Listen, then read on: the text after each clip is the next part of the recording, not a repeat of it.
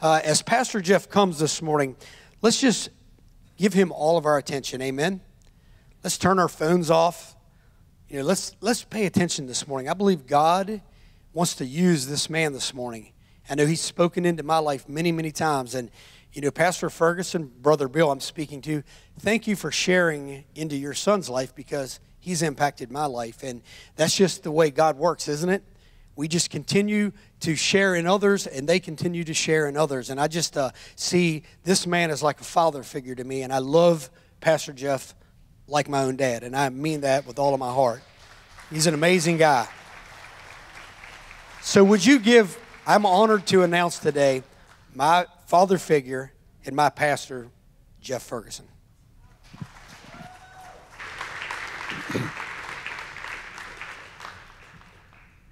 Thank you, Trevor. When I was introducing the great grandparents, I did the unpardonable sin. I did not introduce my mom and dad, and it is an honor and a privilege for me to have them today. Um, they're not only my parents, they're my heroes. And I, I want you to know that, that uh, any good thing is a result of God and them. Any bad thing is a result of me. But um, Dad has just been a godly example to me of what a pastor should be, of what a dad should be, and a father. My mom was rock solid. She was my dad's right hand person for many, many years.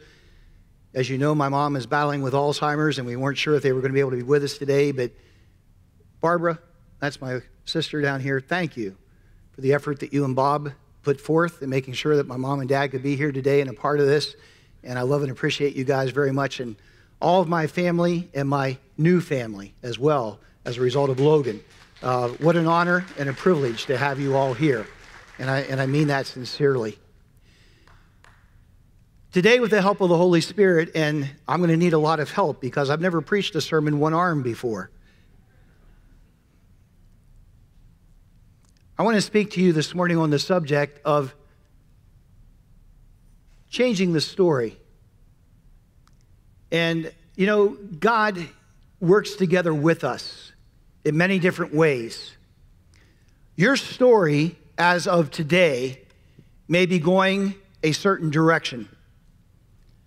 But I have a message of hope for you today, and that is this it doesn't have to continue to go the way that it is going if it's going in a direction that you're not happy with. Now, to the best of my knowledge, many of you, if not all of you, at some point in time in your life have received Jesus Christ into your life. You know the difference that he makes and what have you.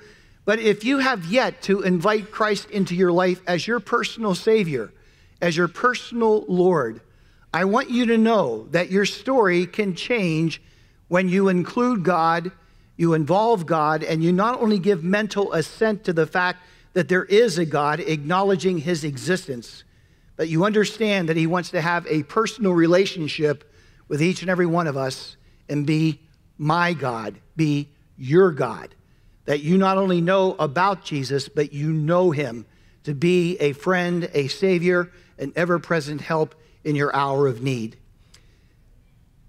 I invite you to turn with me in the Word of God today if you have your Bible, or if not, pay attention to the PowerPoint here behind me. We're going to look together at two verses that is found in Isaiah chapter 43. And if I could ask you to stand one more time in reverence to the reading of God's Word. Good to have Stuart and Karen Mercer with us today as well. God bless you. They're good friends with uh, Jim Bowles. In fact, I think Stuart and Jim attended college together at James Madison. Is that correct? Yeah, good to have you. God bless you. Good to see you today, and others of you as well. Delighted to have you in the service this morning. But notice what the Word of God says here in Isaiah chapter 43, beginning to read with verse 18 and finishing with verse 19. Do not remember the former things, nor consider the things of old. Behold, I will do a new thing. Now it shall spring forth. Shall you not know it? I will even make a road in the wilderness and rivers in the desert. Holy Spirit, I need your help today. I need you to walk before me into this pulpit. I would ask three things today, Lord. First of all, that you would anoint my mouth, my mind, that I might bring forth your word unapologetically. I pray that I'll bring it forth with clarity. And I pray, Lord, that as your word goes forth, that it will produce a bountiful harvest. Second, I would ask that you would also open the ears of everyone that is here today. Help us to be receptive, O God, to your word as it comes forth. And third, I would ask that you also, oh God, would just help our hearts to be receptive to your word. Holy Spirit, as your anointing is upon it, you've promised that it will not return until you void. Might it accomplish today what you're desiring to do in this place? And if there would be individuals here who don't know you as their Savior, I would pray that as your word goes forth, the Lord, it will penetrate their heart. Help them to understand that you love them, that you're concerned about them. And Lord, you desire to be their personal Savior, their personal Lord, that you might have a relationship with them. I pray, Father, that we'll see lives encouraged, people have a renewed hope and a confidence in knowing that in every circumstance, God ultimately is in control. For this, we'll give you praise and thanksgiving. And all of God's people said, Amen. You may be seated. How many of you here among us today would like to have the opportunity for a fresh start? Several hands are going up. Perhaps it involves a fresh start in your lives, maybe your finances, or perhaps even your career. As those of you who live in this area know, this past week there's been a forest fire that's been burning in the Shenandoah National Park, some 8,000 acres, I'm told. And when the wind shifted on Wednesday, a blanket of smoke engulfed the city of Harrisonburg. In fact, it was so bad that in our case, we couldn't see on the other side of Interstate 81, which is a pretty much common occurrence out of our front living room window where we can have a view of CSAT on the campus at JMU. You know, it's in times like that that it's hard to remember that above the cloud of smoke is a beautiful, clear blue sky filled with crisp fresh air. Because when I was outside, the air quality index was very bad. In fact, they canceled after school activities for uh, all the schools here in the Harrisonburg area. And when you went outside, there was a definite smell of smoke that permeated the air. You know, sometimes circumstances in life can be like smoke that dampens our perspective of life. The two greatest enemies of life are regrets for things that we did in the past and anxiety about what will happen to you and I in the future. Many of us are either living in the past or in the future. Someone once made this statement. They said, Life is what happens to you while you're making plans to do something else. Isn't that true? Life is what happens when you are making plans to do something else. However, I am a firm believer that God is leading us in a time of refreshing. And we all have a part to play in it. You might be in the fire right now, or lost in the smoke or the haze of life with the circumstances that are confronting you. But just like fire burns out the underbrush in the forest to allow new growth to occur, so God allows the fires of life to periodically clear out the brush and the debris that have accumulated in our lives that is inhibiting spiritual growth to take place in each and every one of us. Rather than complaining, I challenge you to use those times for reflection and assessment. God loves you so much that despite the mistakes, the shortcomings, and the broken promises you have made, He still desires to give you another chance. God is saying here in our text today forget what has happened in the past. Today is a new day. We can never enter our tomorrow as long as we remain standing in our yesterday. What has happened to us in the past can either serve as a springboard or as an anchor. And I encourage you to acknowledge the past but move to the future. Paul writes in Philippians chapter 3, verses 13 and 14 Brethren, I do not count myself to have apprehended, but one thing I do, forgetting those things which are behind and reaching forward to those things which are ahead. I press toward the goal for the prize of the upward call of God in Christ Jesus. Well, you might be sitting there this morning and asking yourself, how do we move beyond past mistakes? And how do we rise above present set of circumstances that we find ourselves confronted with? Well, I believe that we can start by acknowledging the reality of where we are, but not allow it to keep us from seeing where we can be. Let's view the following video that speaks about how, together with God's help, we can change the story.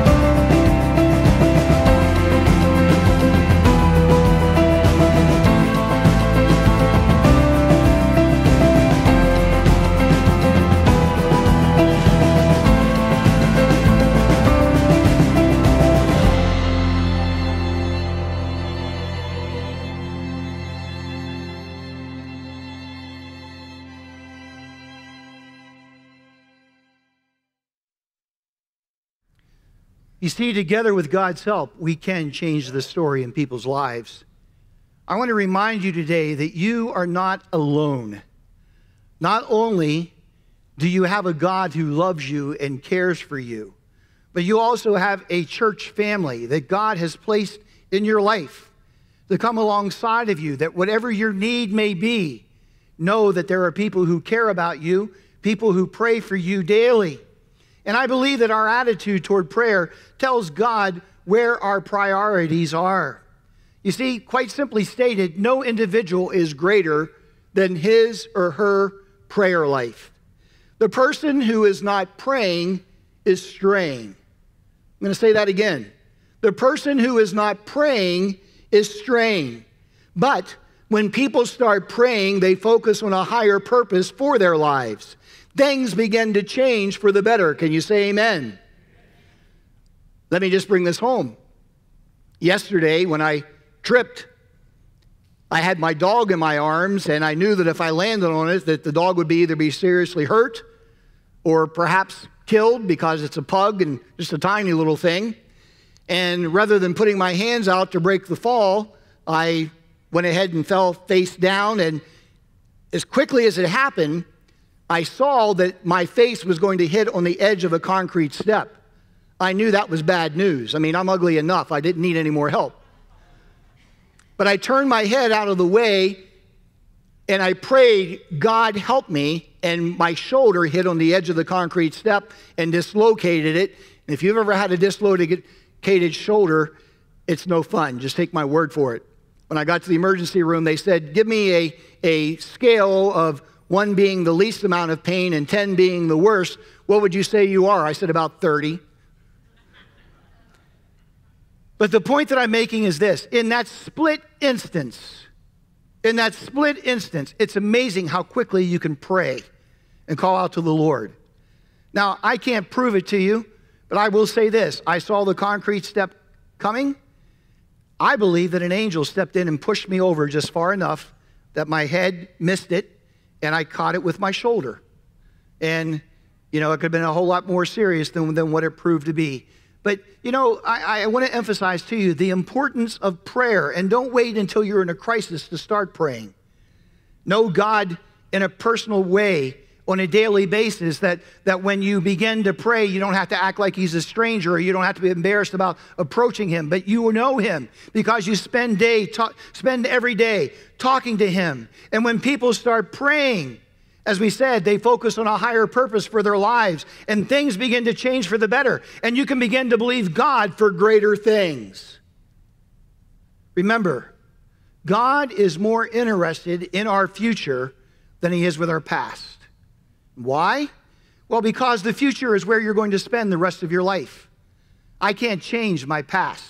Memories have already been made, mistakes have already been made, good things have happened, and so on and so forth. I cannot go back and unchange those. I can only remember them and hopefully dwell on the good and forget about the bad and recognize that God is interested in my future and as bad or as sad as my past may have been, praise God, now that I have God in my life, I am looking forward to better things. Can you say amen?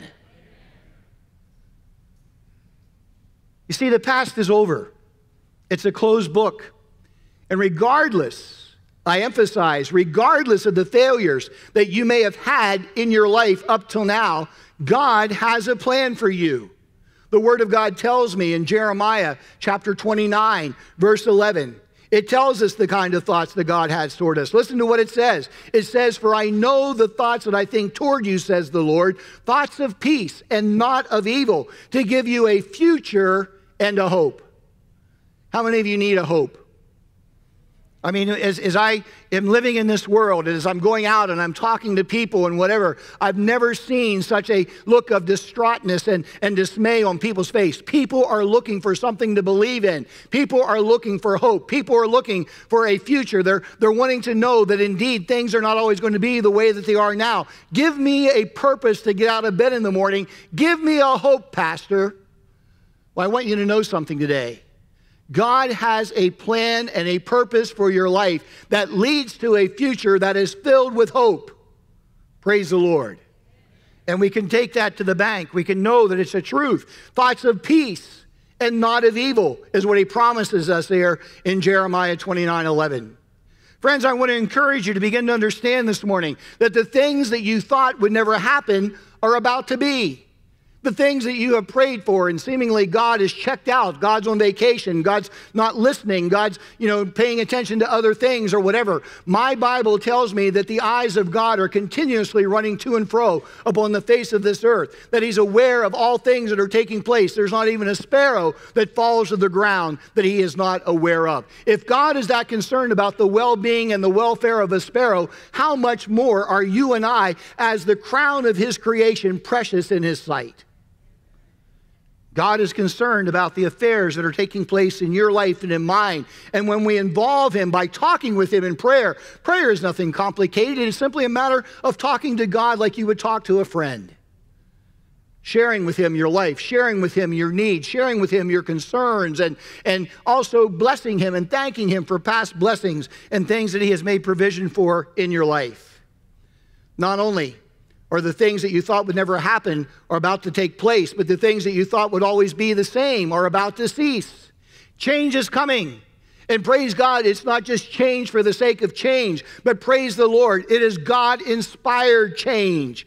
God promises you and I transformational change. In 2 Corinthians chapter 5, in verse 17, it says, But if any man be in Christ, old things are passed away. Behold, all things have become new. Hallelujah. I am thankful that I'm not the man that I once was, but you know what excites me even more? I'm not the man that the Word of God says I can become. As I put my complete dependence upon the Lord Jesus Christ, I'm glad that even though there's room for improvement, I'm not the one that's doing it by myself. The Holy Spirit is leading and guiding and directing. And as long as I walk in obedience, it is amazing what God can do in bringing about God inspired transformational change. See, the way things have been are not the way that things will always be. God has never forgotten the the vision that He gave us. His plan is still to bring the fulfillment of that vision to take place in your life and in mine. But we need to remember that everything that happens in our lives has an appointed time. Now, you know what's hard for me to accept, and I'm just being honest. I'm trying to be transparent here this morning. The thing that's hard for me to accept is that God's times plan or time schedule is not always mine. Anybody here ever struggle with that P word, patience? Am I the only one? I see some hands going up. We're going to have an altar call in just a few moments for those of you who didn't raise your hand. I struggle with patience. Oh my goodness. I mean, quite frankly, that's, that's probably why I fell yesterday. I was in a hurry. I didn't take the time. You know, I, I want to get something done and I want to get it done yesterday so I can hurry up and do something else. But you know, God's not in a hurry. And the thing that I'm growing to understand is this when I pray for something, God is not only interested in blessing me, but He's interested in blessing others as well so that when He does bring about the answer to my prayers, I am not the sole beneficiary of the answer to my prayer, but there are others that are benefiting from it as well. God's fitting the pieces in place, and when the timing is perfect, you see the answer on time. I've shared this with you before, but it bears repeating. Jim Wellborn, a, a, good friend of mine who's an evangelist from Ohio, he has this saying God is the slowest person I know, but he's always right on time. And it's so true, isn't it? And times in my life, it seems like, God, you're so slow. Where are you? Why are you even listening? Are you even paying attention? God, are, are, are you, you know, are you getting it? Lord, are, are you hearing the desperation in my voice? And it seems like he's dragging his feet. He's asleep at the switch. He's, he's nowhere to be found. But so help me, right in the nick of time, God is always there. Always faithful in coming through and performing the promises of His Word. Everything is for an appointed time. The prophet Habakkuk tells us in Habakkuk chapter 2, verses 2 through 4, it says, Then the Lord answered me and said, Write the vision and make it plain on tablets, that he may run who reads it. For the vision is yet for an appointed time, but at the end it will speak, and it will not lie. Though it tarries, wait for it, because it will surely come. It will not tarry. Hallelujah. Sometimes I need to write it on a large billboard, is really what it was saying there, one of the large tablets. I need to put it on a billboard. I need to keep it in remembrance before me. I need to remember that God has said it, and therefore I can count on it becoming a reality in my life. That it's not just empty words, it's not just something to fill up a, a, space in the Bible, but it's God who said it. And if God said it, how many of you know it's going to happen? In the fulfillment of His time. Wait for it. Wait for it because it will take place in its appointed time. You see, friend, God clears the haze that keeps us from seeing his plan. If you want a fresh start in life, you and I must stop making excuses. Stop blaming other people and seeing yourself as a victim of circumstances. Because the plain truth is this the only person that can ruin your life is you, and no one can ruin your life without your permission. Did you hear what I said? The only person that can ruin your life is you, and no one can ruin your life without your permission. You have to decide how you're going to react. You have to decide, you know, what path am I going to take? Am I going to take a path of retaliation? Am I going to allow it to get me discouraged and to give up and, and, and feel as though there's no reason to go on in life? Or am I going to understand that this person does not control me? God has a plan for my life that He's promised me will give me a future and a hope. You have a choice. I have a choice. And we can choose how we're going to respond to those who would try to hurt us. The Bible says that the starting point is just to be honest and accept responsibility for your part in the problem. Stop rehearsing the past and get on with the present. Believe the day that with God's guidance and strength, the future will be better. I'm not a singer. I don't pretend to be. But when I make that statement, there's a song that pops in my mind from a, a play on Broadway, Annie. The sun will come out tomorrow. Bet your bottom dollar that tomorrow. So on and so forth. I don't want you to leave. I'm not done preaching yet. That's why I preach instead of sing, Kevin. But the point that I'm making is this there are times in your life and in mine where I can't see the hand of God. There are times that I can't sense His presence. There are times that I forget in the midst of the circumstances and situations that are going on around me that God is still there and God is still in control. And because He's omniscient, He is all knowing, there is nothing that ever takes Him off guard or by surprise. God knows the outcome before it becomes a reality. You see, believe that with God's guidance and strength, the future will always be better. Oh, there will be disappointments in life, but every day that passes is one day closer to the finish line of life. Amen? If your goal and my goal as a Christian is heaven, then all these little setbacks in life are only stepping stones getting us closer to the time when you and I are going to spend an eternity with Jesus Christ. Hallelujah. I'm looking forward to heaven. I can't wait till the day comes that I'm going to spend an eternity with the Lord. No more pain, no more tears, no more heartaches, no more disappointments. But praise God, the Prince of Peace, the Savior of my soul, is going to be there. And praise God, not just for a week, not just for a month, not just for a year, but for all eternity. Praise God.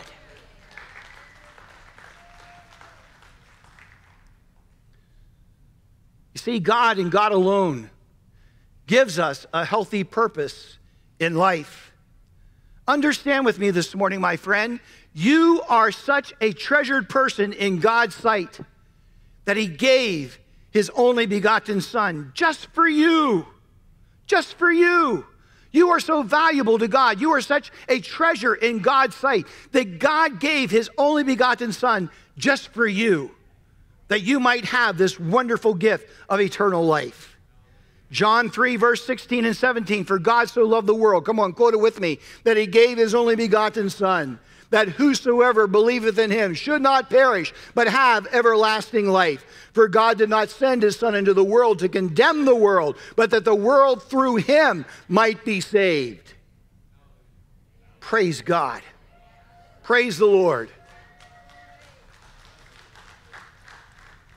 You see, it's, it's what's called in church lingo, and I, I don't like church lingo because we, we have a lot of cliches that someone who's not been brought up in the church, sometimes they look at us and say, What?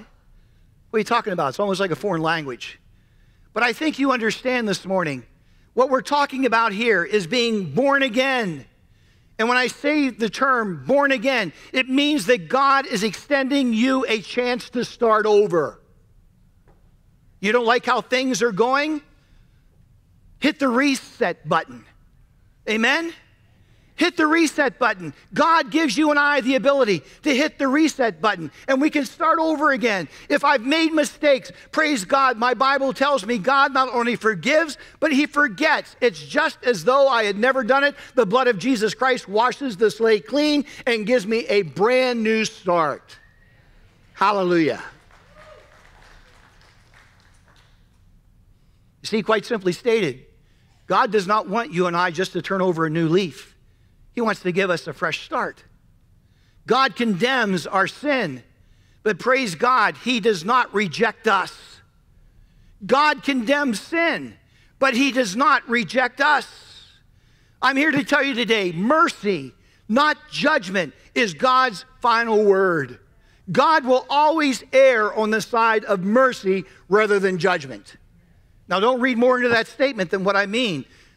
I know the Bible very clearly tells us that there will be a time of judgment reserved for those who do not confess their sins and receive Jesus Christ into their life. The Bible very clearly tells me that there's going to be a day that each and every one of us will stand before the Lord and give an account of our life, either at the judgment seat of Christ as a person who's received Christ into my life and my works are going to be tried by fire, or at the great white throne judgment where I have rejected the plan of salvation, where I have rejected, even though I've heard that God loves me, God wants to give me this gift of eternal life that we refer to as salvation, but I have rejected it no, God, I can do this on my own. I don't need you. I don't need a Savior. Listen, friend, if you and I could have saved ourselves, Jesus would never have had to go to the cross.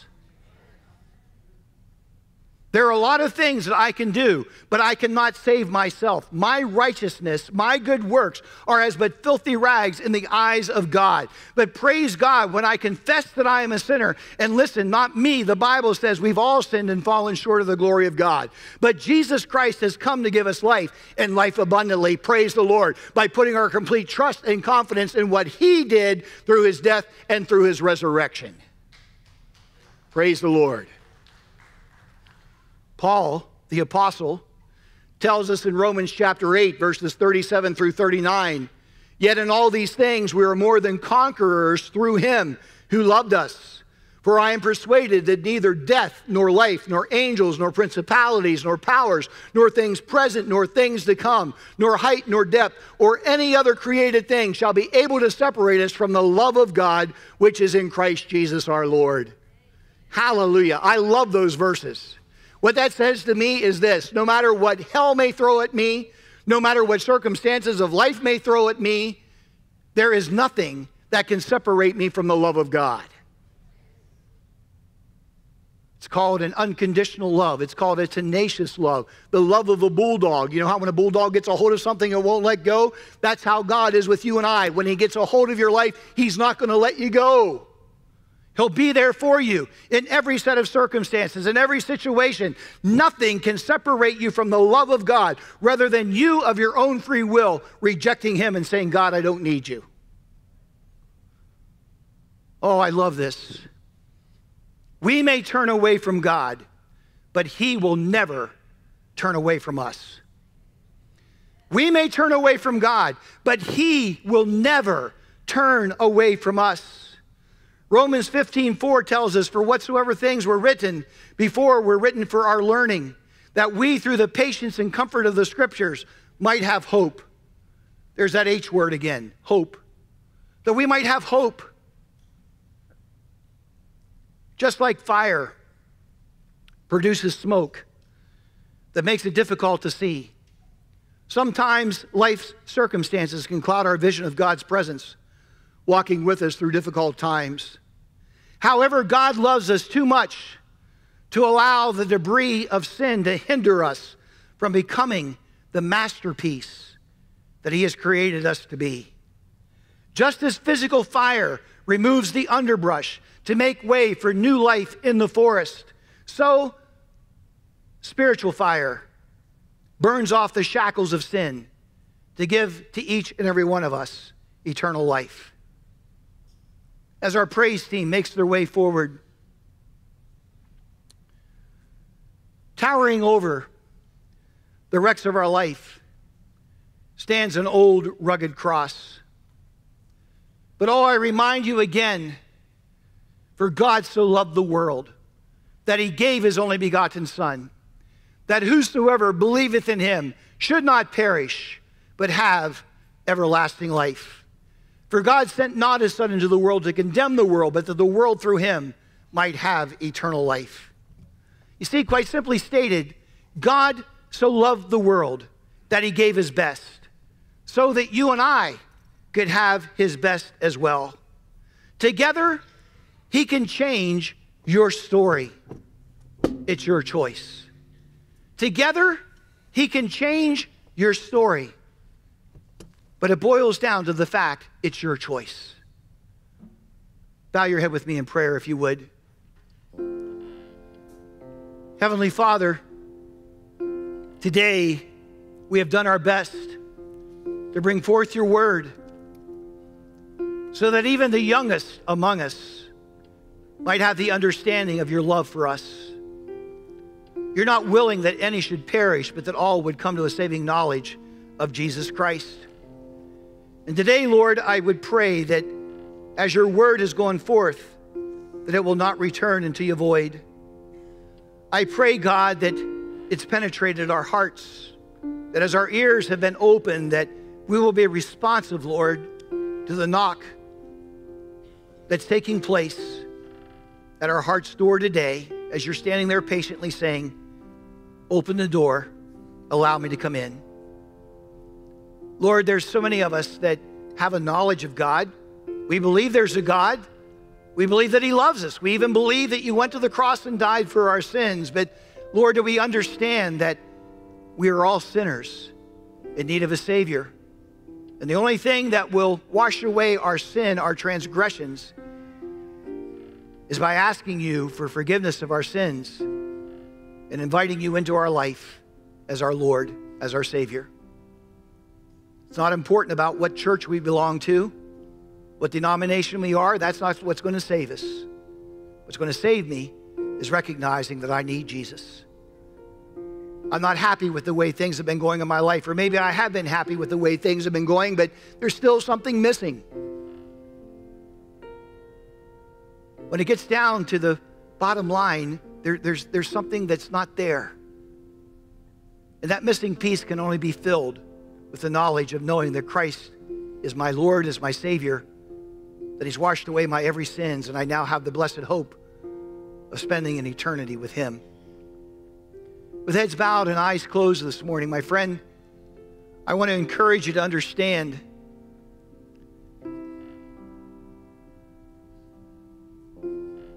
God loves you so much, and He's not willing that any should perish.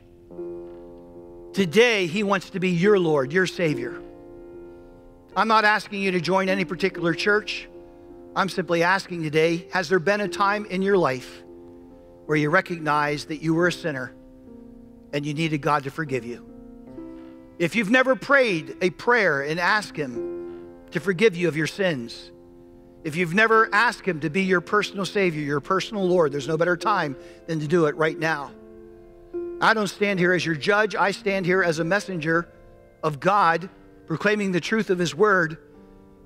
And as much as I desire for you to know Christ, how much more does He desire for you to know the Lord? So today, as this Word is going forth, and you sense something tugging at your heartstring, you sense that things are not the way that they need to be between you and God that you would like to invite him into your life. I'm not going to embarrass you. I'm going to ask you just simply right where you are to simply raise your hand and say, Pastor Jeff, pray for me. I need Jesus today. My heart is not right with God. I know I'm a sinner. And today I want to ask him into my life. If that's you, would you raise your hand? Anyone? You need Jesus today.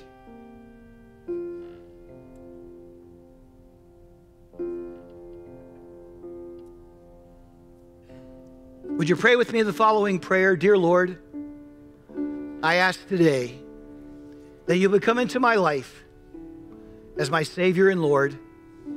I know I'm a sinner. I cannot save myself, but you took my place on the cross of Calvary, paid the debt for my sins in full.